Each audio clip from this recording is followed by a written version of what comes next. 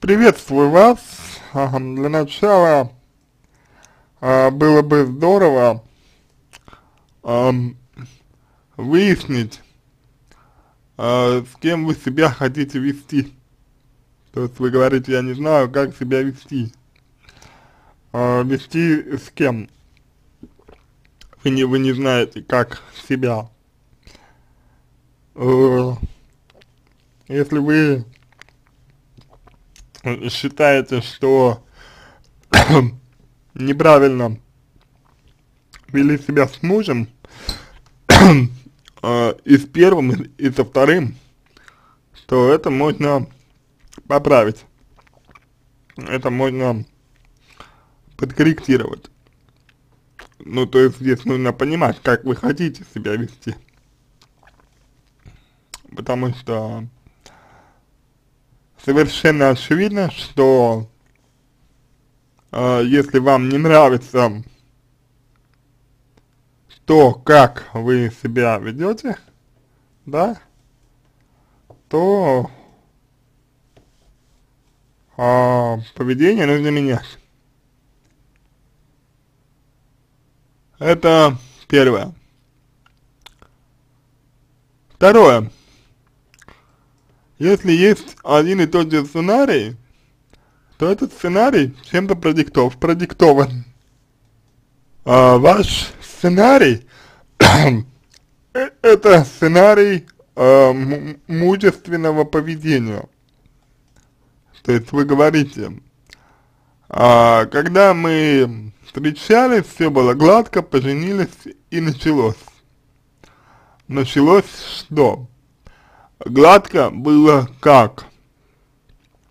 Как именно гладко было? А, жили со свекровью. Так, зачем жили со свекровью? То есть, ну, вы же согласились на а, проживание с ней. А, их кормила, покупала продукты и готовила я. Одевала мужа тоже я. А, забеременев, я сама все купила ребенку. Зачем? Почему вы э, кормили, покупали продукты сами? Почему вы, э, значит, э, ребенку все покупали?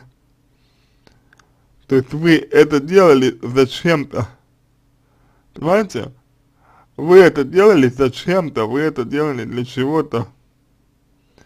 И надо сказать, что ваше поведение здесь, оно э, может быть названо э, как, ну, скажем, мужское, то есть это поведение, в, ко в котором вы э, занимаете роль мужчины, это поведение, в котором вы замени э, замещаете именно доминирующую роль. Понимаете, как, какой, какой момент? То есть, грубо говоря, мужчина не видит вас женщину. Вот. А, дальше идем. Дальше идем. Вы э, пишете, что мужчина, значит, привез э, вещи к родителям вашим, оставил вас и больше не беспокоил. Ну, значит, наверное, что это произошло.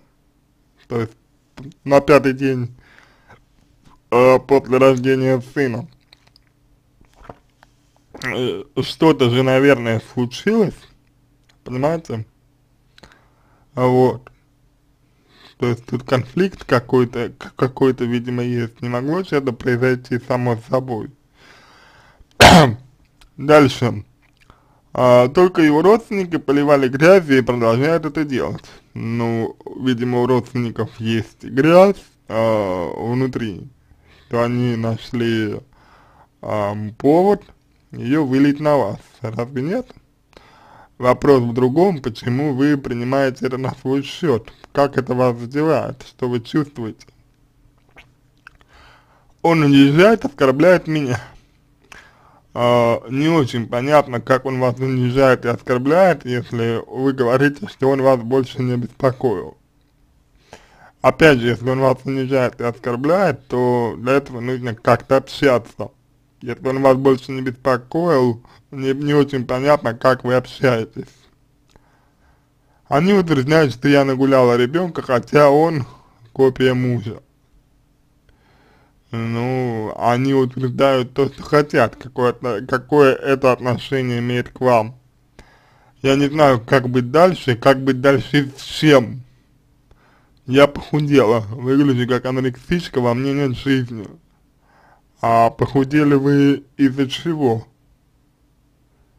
Пока я вижу только то, что вы, э, значит, сами себя позиционируете как а, такую, такую а, работающую женщину, да, то есть, ну, женщина, которая работает вот, очень много. И вы думаете, что за эту работу, за то, что вы вот э, очень много всего делаете для других людей, вы думаете, что за это вас будут любить, видимо. Вот, на самом деле это ошибка, к сожалению, потому что любят не за это, точнее не, за, не только за то, что что-то делают для человека, любят человека просто так. вот, я полагаю, что а, у вас такой вот сценарий, да, единый сценарий, это то, что вы должны очень много трудиться и э, все для всех делать. То есть, отда грубо говоря, отдавать больше, чем вы получаете. Ну и в итоге вы просто отучаете людей что-либо вам давать, и это приводит к тому, что они вас обесценивают. То есть нужно принять свои желания, нужно перестать отдавать больше, чем вы получаете, и нужно лучше прислушиваться к себе. Вот.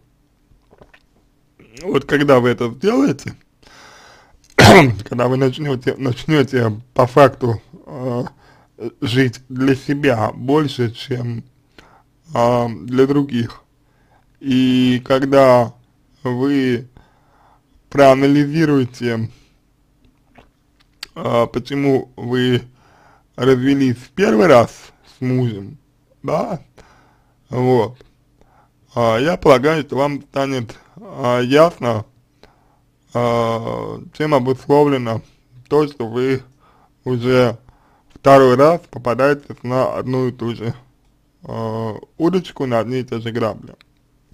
У этого есть причины, эти причины нужно выяснить и их э, устранить, устранить. И, по крайней мере, сделать так, чтобы вы их видели, чтобы вы замечали, и чтобы вовремя могли контролировать и ориентироваться. Вот.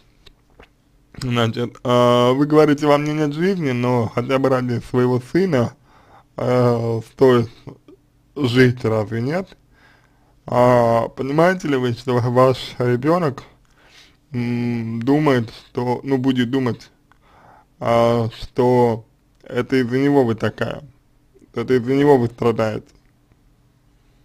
Я не уверен, что вы хотите этого для своего ребенка, поэтому вот мотив а, заботиться о себе, заботиться о ребенке, потому что если вы не заботитесь о себе, вы не заботитесь о ребенке, вам нельзя быть анорексичкой из-за того, что э, ребенку нужна здоровая мать, кормящая, кормящая мать. Вот. У меня такое ощущение, что вы здесь э, сконцентрировались только на себе, и э, по факту, кроме себя, своих собственных чувств, да, своих желаний, а, а, обиды, может быть, вы ничего не видите. Я вас не обвиняю э, в этом. Я могу предположить, что вам действительно тяжело, вот. Но, тем не менее, нужно отделять э, поведение людей, да, э, значит, и свое поведение. Нужно отделять цели людей и свои цели. А сейчас в вашей жизни есть только вы и ваш ребенок. И именно вы друг у друга есть. Это, это единственное, что есть, понимаете? Вот. А вы имеете право на алименты, я полагаю, что, как бы, если говорят, что нагуляла, ну, вы можете сделать тест ДНК, и там, как бы, все подтвердится. То есть, я не очень понимаю, почему для вас это проблема. Если они не верят, тест ДНК как бы все, под, подтвердит, и вы получите право на алименты. Вот. Вполне вероятно, что здесь есть какая-то коммерческая выгода, да, то есть шкурный интерес чьей-то либо родителей, либо, а, значит, а, самого мужа, вот. Но в любом случае, в любом случае с этим нужно разбираться. На этом все, я надеюсь, что помог вам. Если у вас остались дополнительные вопросы, пишите в личку, а, буду рад вам помочь. Если вам понравился мой ответ, буду благодарен, если вы сделаете его лучшим. Я желаю вам всего самого доброго и удачи.